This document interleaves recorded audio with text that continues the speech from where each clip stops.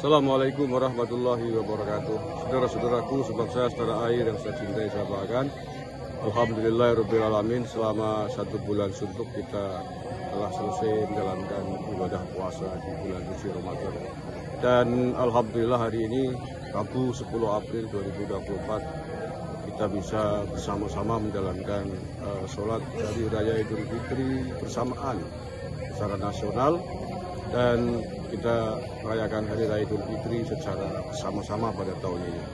KB Nusantara mengucapkan selamat Hari Raya Idul Fitri.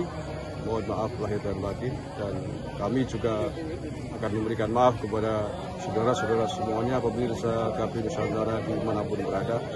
Selamat berbahagia bersama keluarga. Mohon maaf lahir dan batin. Assalamualaikum warahmatullahi wabarakatuh.